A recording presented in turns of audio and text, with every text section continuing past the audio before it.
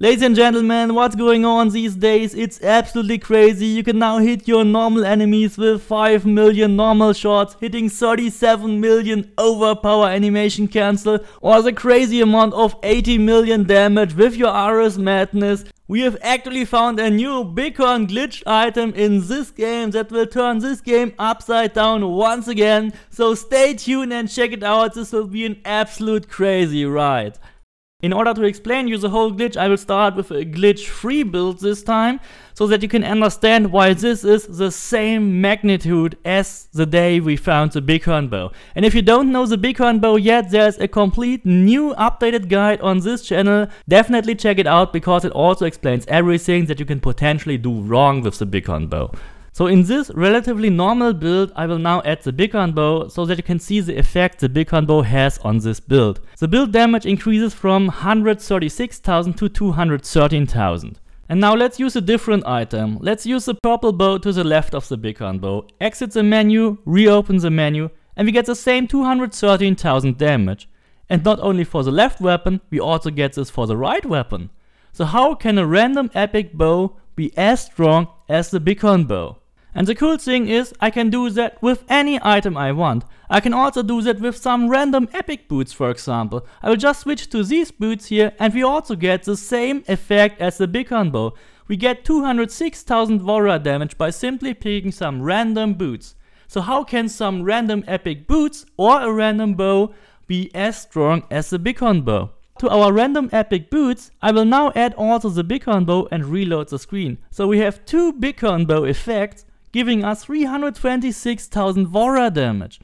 You know what? All of our epic items had the same engraving, the new 100% all damage but minus 100% resistance. And this engraving is incredibly glitched. It doesn't give you 100% all damage. If you do this glitch correct, it will give you way more than that.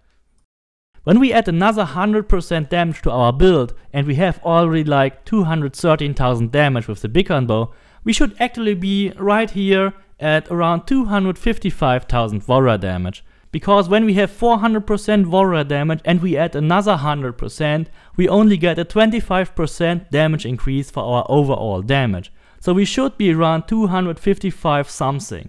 But in fact, we're getting way more. We are way beyond 320,000 damage. So we have to find out what's going on with this engraving by removing all our abilities, removing all our masteries, and then also removing all our gear.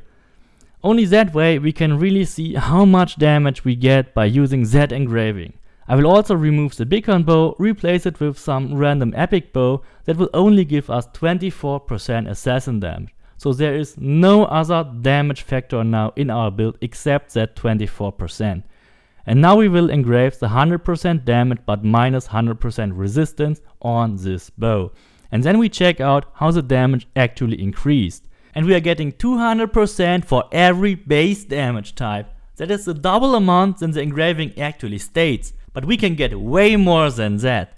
So we simply add an item that also adds the damage conversion. We will convert 50% assassin damage to all damage. And now suddenly we get 300%. 300% warrior, 300% hunter damage and we get the 100% additionally out of nothing. Normally you cannot convert all damage engravings, but in this DLC they simply forgot to classify this engraving as all damage and therefore you can simply convert it and get another 100% damage for the types you actually want. And of course, since we don't need hunter damage at all, it would be best to use hunter damage conversion to get 300% assassin and 300% warrior damage out of it. That will be the new standard way to increase our damage in all our future builds. And the good thing is we can use both the glitched engraving and the glitched bow to get the double damage out of it. Please don't forget to subscribe, leave me a like and see you next time.